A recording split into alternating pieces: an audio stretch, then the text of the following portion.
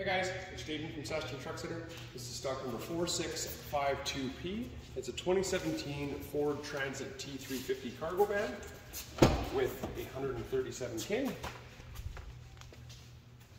It's nicely outfitted. It is the 148 wheelbase, which means it is the medium length option, the same length as what used to be an extended cargo van.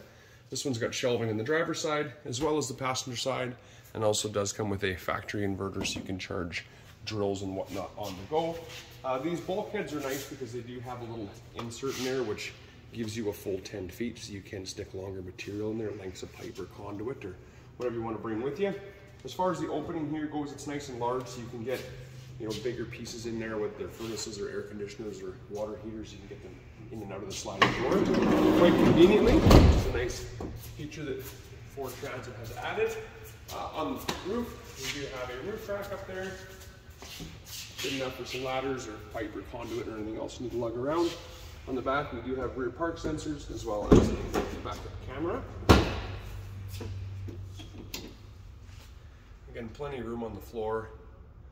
Whether you're a general contractor or an electrician or plumber, nice big extended van like this is good enough to get you and all your material to and from the job site.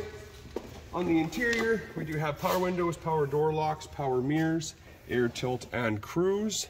And there is also some auxiliary switches mounted down below, one of which does power the inverter. It does also have three keys with this one, a little bit of a rarity.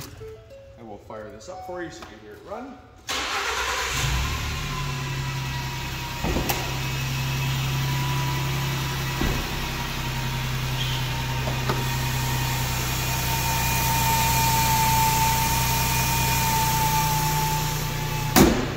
Stock number 4652, 2017 Ford T350 Transit van.